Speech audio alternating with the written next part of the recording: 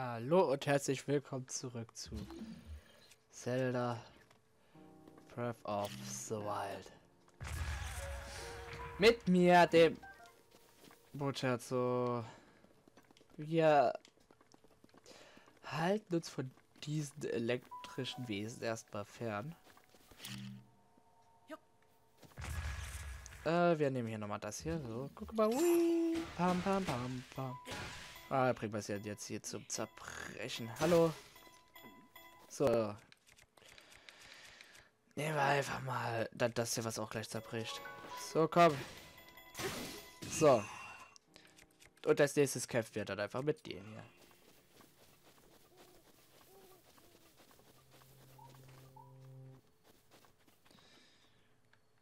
Mit doofen Elektroviecher. Die sind echt voll nicht nett. Aber ich will zu dem Klintdorf da. Nochmal.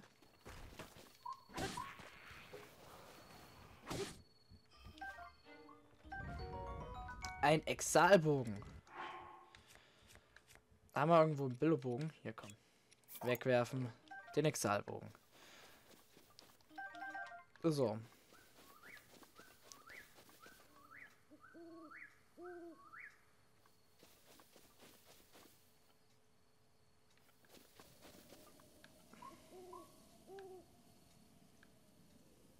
Nee. Da vorbei. Na komm. Wenn wir jetzt ja richtig schön Treffer leisten.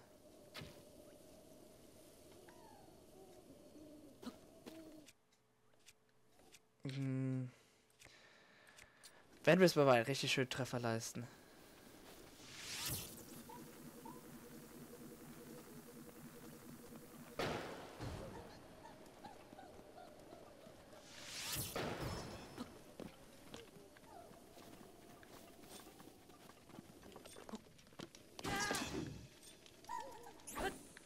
So, okay, okay, okay. Wo bist du? Wo bist du?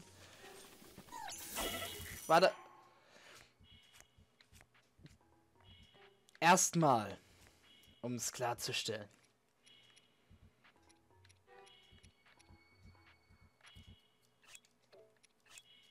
Ja. Dann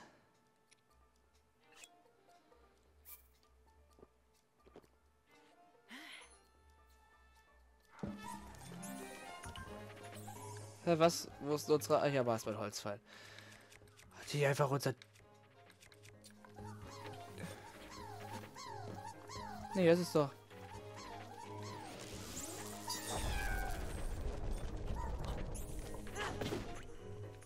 Komm, wo bist du?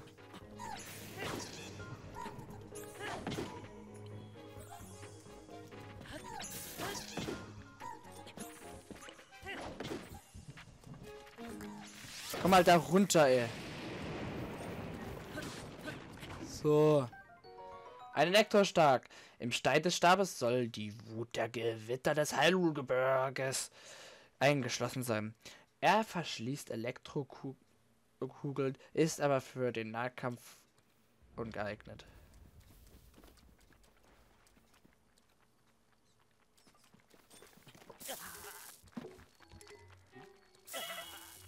Alter.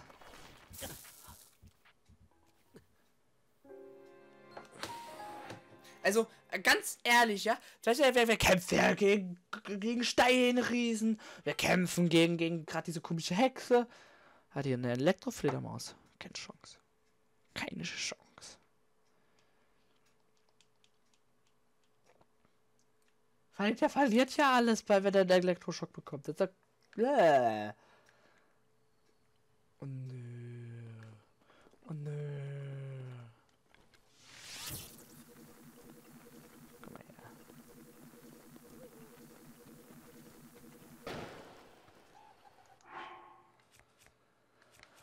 Ah, nehmen wir mal gleich.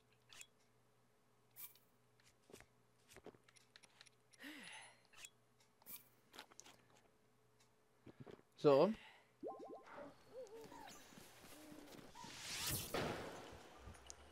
Echt jetzt?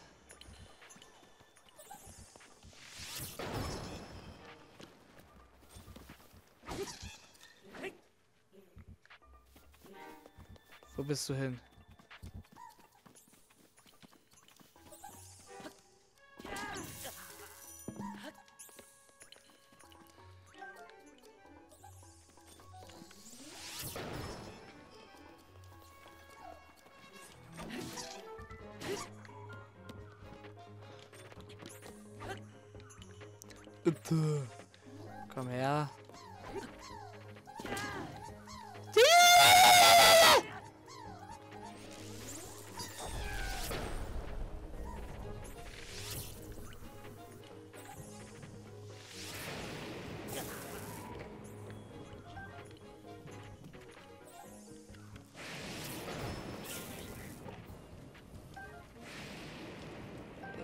Blödes Teil.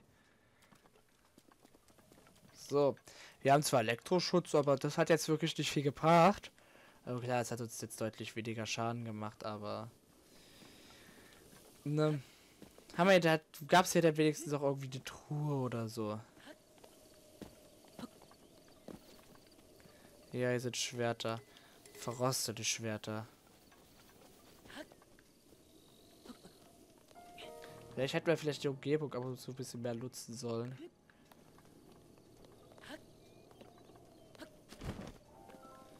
Äh, aber was der Stab auch genau bringt, das weiß, weiß ich auch noch nicht. Müssten wir herausfinden. Im Kampfe. Ach, Lüng.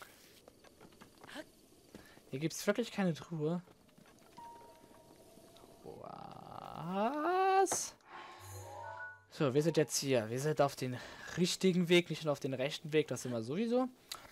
Ähm, aber auf den richtigen sind wir auch. Denke ich. Und alle. Hoppala. Oh, oh. Da benötigt jemand unsere Hilfe. So, ich würde sagen, wir probieren einfach mal.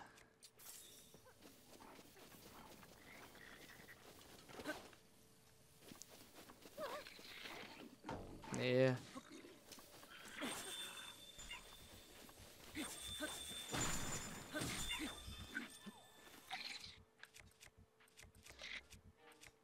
Was nehmen wir denn jetzt? So. Nein. So. Uh, stopp, stopp, stopp, stopp, stopp. Oh, du Blödmann.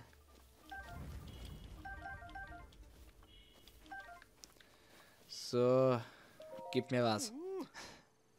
Du hast uns du hast uns errettet. Ich danke dir von Herzen. Dies ist keine Aufmerksamkeit. Bitte nimm das an dich. Eine kleine Aufmerksamkeit. Schleichkräuter Reisbällchen.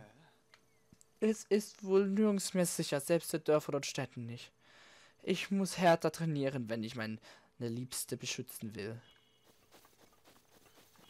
Herkommen, angetreten. Wir bereisten zusammen die Welt, um eine Blume namens Prinzessin Enzian zu finden. Natürlich wissen wir, dass es mit den Monstern hier draußen gefährlich ist, aber ich wollte unbedingt mitkommen. Solange wir uns zusammen, solange wir nur zusammen sind, werd, werden mein Mann und ich mit allem fertig. Warte mal. Warte mal, wartet mal, habe ich gesagt. Hab gesagt, warten! Ah, Frostkraut. Zitter, bla bla. In die Hand. Komm her, komm, komm, komm, komm, komm. Hm. Hallo. Sprechen.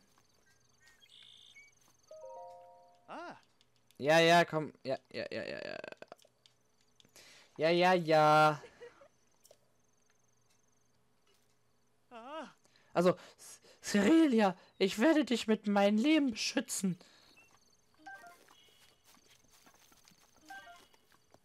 So.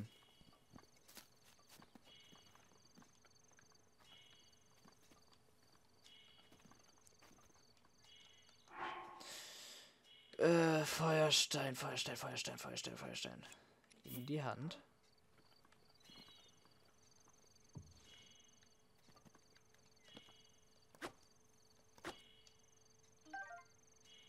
Wie macht man jetzt ein Feuer an?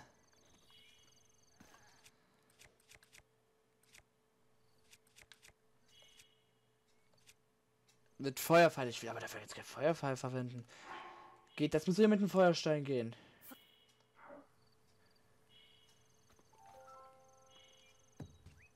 Warte mal.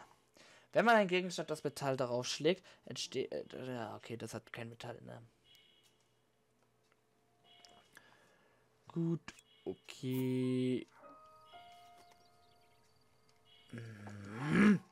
In die Hand. In die Hand. Ablegen. Jetzt ein Gegenstand mit Metall.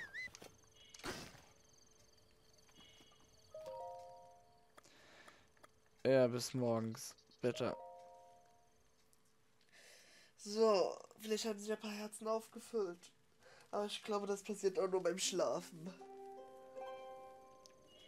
Ja. Nein. Wir werden jetzt einen in die Hand, in die Hand. Ein Fleischbraten machen, einen leckeren Braten. Um ihn direkt danach zu essen. Mm, nam, nam, nam, nam. So. Dann würde ich sagen, ziehen wir weiter. Den ja mal geholfen. Da ist ein Glöckchen, ein Schleichglöckchen. Wir hier. Ah, guck mal, hier gibt es wieder viel zu sammeln. Hier ist ein Wäldchen, haben wir hier auch. Oh, hört ihr das auch? Nein.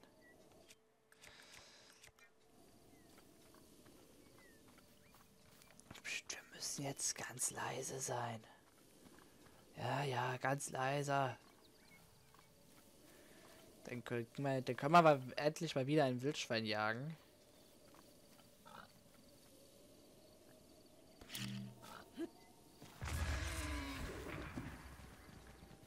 Sehr gut, wir haben Wildschwein gejagt. Ich bin so gut. Was haben wir da? Da mal ein schwarzes Pferd. Da mal Pferde. Da mal ein blaues Pferd. Eine große Maxi-Rübe. So, wir holen uns jetzt erstmal ganz leise diese Eidechse da. Oh. Was ist denn das eigentlich so für Klipp auf den Bergen? Das sieht äh, so eklig aus. Naja. Da ist noch eine Maxi-Rübe. Zwar keine Super Maxi-Rübe. Aber eine Rübe.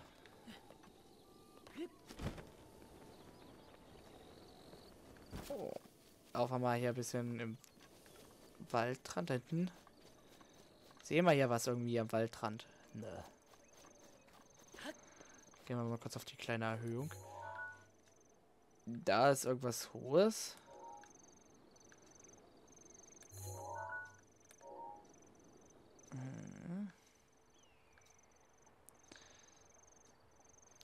Was ist das denn?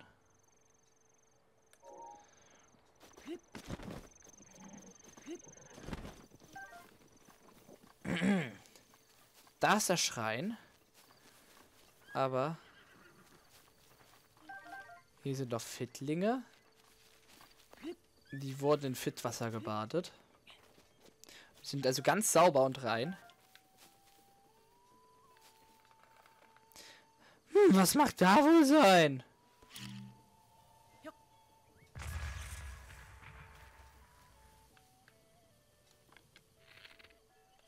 Nee. Was nur Feuerpfeiler? Okay. Dann müssen wir es wohl so machen, dass er ins Inventar mal wieder gehen. Feuerstein, Feuerstein, Feuerstein. In die Hand.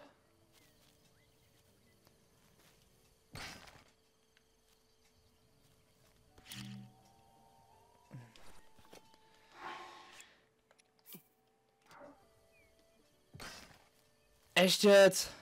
Leute.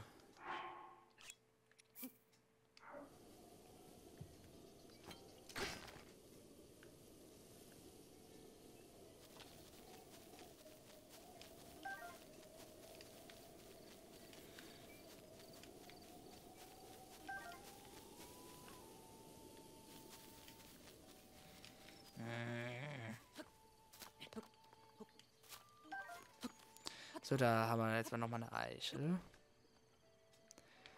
In meiner Hose. Oder wir machen es einfach so.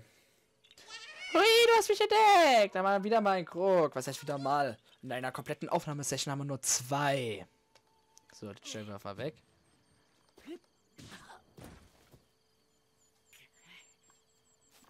Toll.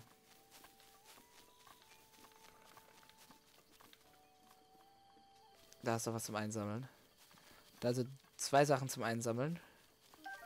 Maxi-Rübe und noch eine Maxi-Rübe. So, dann haben wir hier noch eine große Maxi-Rübe. Und eine... ein Ausdauerding. Ah ja, nochmal eine große Maxi-Rübe. Ja.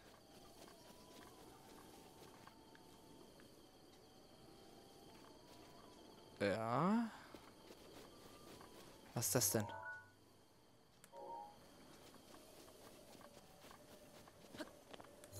Kommt das näher? Ne, es fliegt gerade voll uns weg. Ich will da auch drauf. Gut. Hier finden wir noch eine Maxi-Rübe. Wie interessant.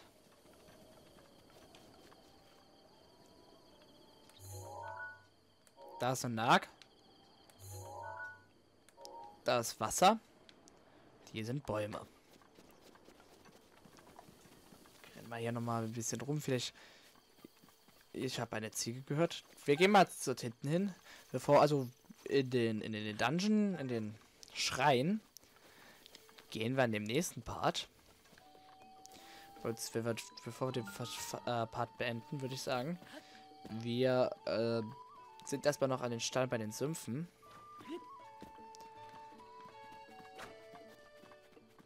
Ah, guck mal, was bist du denn? Oh, warte mal.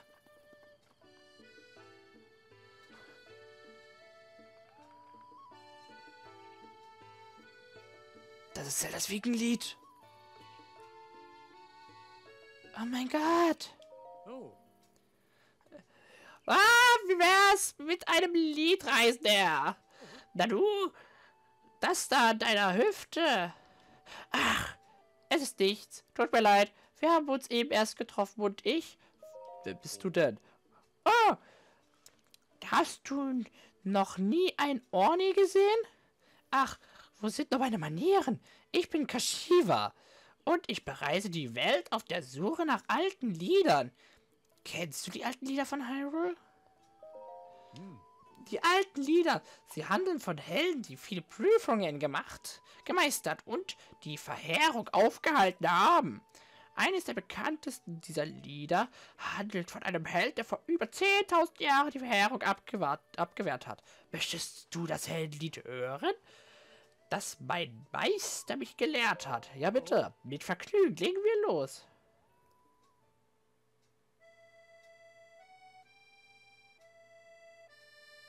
Hyrule, stolze Blüte unserer Welt, wurde seit eh vom Bösen angegriffen. Das immer wiederkehrende unheilsame Ganon, die Verheerung, war sein Name. Doch Hyrule war nicht hilflos verloren, denn immer werden im Schützer geboren.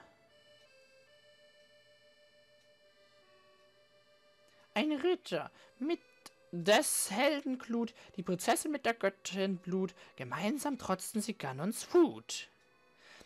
Kunde der Schlacht zwischen dieser Gewalten ist uns in alten Liedern erhalten. Und hier folgt nun ein glorreichen Gesang, wie man vor zehntausend Jahren Ganon bezwang.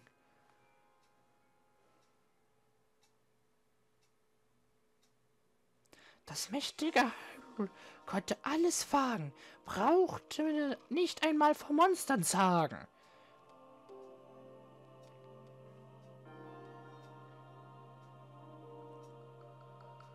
Mit sämtlichen Wesen und sämtlicher Macht war ein neuer Plan gegen Ganon erbracht. Erdacht, Entschuldigung.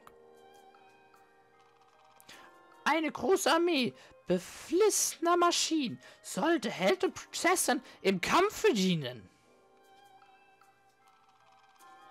Man baute Tiere, mächtiger als wir ahnen, von Riesengröße, die heiligen Titanen. Dazu Maschinen, selbststätige Fechter, ihre erfriege Schar nannte man Wächter. Eifriger, mein Gott.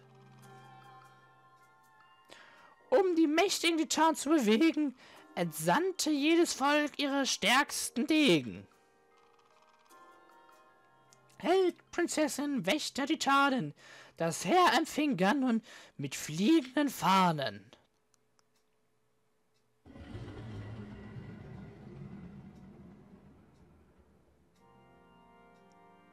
Die Verheerung erwachte und wütete wild. Es war ein Schrecken, erregendes Bild.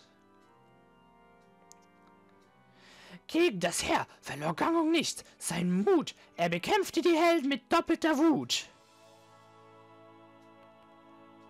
Während die Wächter an der Seite der Hel Helden fochten,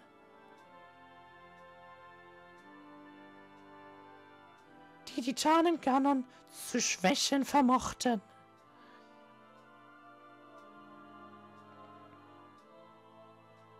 Das Heldenbandschwert durchbohrte ihn und durch der Prinzessin Macht ein Siegel erschien. Die Verheerung Ganon war damit geschlagen, so endet das Lied vor 10.000 Jahren.